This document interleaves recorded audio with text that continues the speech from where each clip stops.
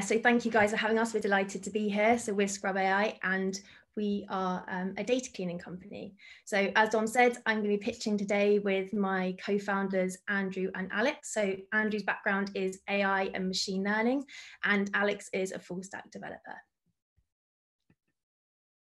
So I just want to start off by zooming out and sort of really showing how big the data cleaning problem is. So in a quote from an industry leader um, recently, they said there's two to five billion dollars spent and wasted on data preparation and augmentation in the insurance industry every year. Um, and a lot of you will be familiar with Trifacta and heard of them. Their CEO said that data preparation is the biggest bottleneck in any analytic process, costing companies billions of dollars and slowing down time to insight. So I imagine a lot of you as well would have been hands-on with the tedious data cleaning problem yourself. Um, they are highly repetitive and prevalent across industries. And the thing behind it is that the approach to the, the problem is very manual. Um, and as a result, it's expensive, it's time consuming, and it's also prone to human error. So the problem that we're focusing on initially is something that I had hands-on experience with um, cleaning. Um, and for this very specific use case in insurance, we estimate that $40 million alone is spent in Lloyd's solving this problem. Um, from there, we've identified several other problems in insurance where um, data cleaning is also a problem, for example, in claims and also other classes of business. And then into the wider financial services market, we estimate that $15 billion is spent on data cleaning. Um, and this is things that we've had hands-on experience with ourselves. For example, um, and one of Andrew's previous roles was structuring data for analysis of non-performing loans.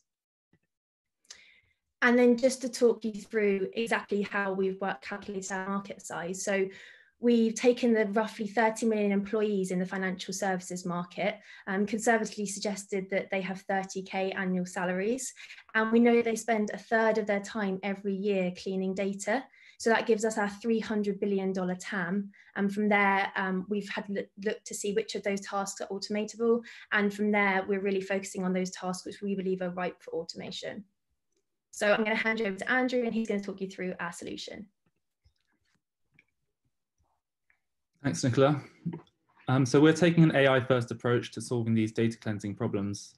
We're currently building a platform that can read and understand spreadsheets and transform them into your desired output format.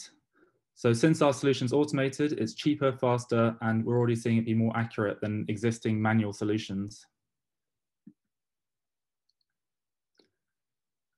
Um, so currently the way to connect to our intelligent backend on AWS is via an Excel add-in. But in the future, we hope to release an API and a web platform. So hopefully the user doesn't need, need to touch Excel. Uh, so the API will send back the cleanse data along with um, some simple reporting to kind of make the whole process transparent. And now I'll pass you on to Alex to talk through the business model. Thanks, Andrew. Um, so we've tried to keep the business model quite simple, both, both for us and for our customers. Um, so that's that's looking like 10 cent per row, which on average is about $100 per spreadsheet. Um, and then we've looked at the accounts that we think we can target within the financial services market, and that's where um, we're getting our uh, total sum, sum, from, from, from the previous slide. Um, and one thing that's important to note is that this pricing structure is actually quite similar to the way current outsourcing solutions um, structure it um, but critically we're quicker, cheaper, and more accurate. On the next slide, we talk about some of the um, feedback we've had and some of the progress that we've made so far. So we've demonstrated the product as it is today to 18 insurance companies within the Lloyd's market, so Lloyd's of London. Um, and from them, we've received uh, letters of intent and NDAs, and with the NDAs, um, a heap of data, which we've trained our models on.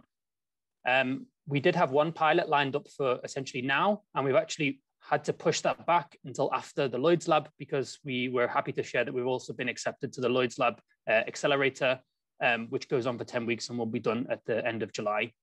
Um, at the bottom of the slide, you can see some positive feedback we have from early beta testers as well as um, from one of the letters of intent. Um, on the final slide now, I'm just going to talk about some of the investment we've had to date and what we expect to raise in the future.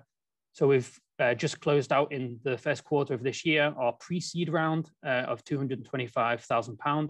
Um, and we anticipate to raise around double that, around £500,000, uh, 12 months later, so in the first quarter of next year. Um, we'd be really happy to start talking about that next round with you now, or also, you know, uh, reach out to us if you want to learn more about the solution. Um, so now Nicola, Andrew, and I are here to answer any questions you have. Well, thanks for that, Nicola, Andrew, and Alex. So the one question we have for you would be on technology, specifically how defensible is the technology and what's being done to ensure this can't be replicated? Uh, yeah, I think that's a really important question, Dom. Um, so the area of spreadsheet intelligence is uh, is a very under researched area. So from the research that we've done, we know that there's only three other institutions that are actually looking into this. Um, so that includes Microsoft Research, also Dresden University in um, Germany, and also UCL.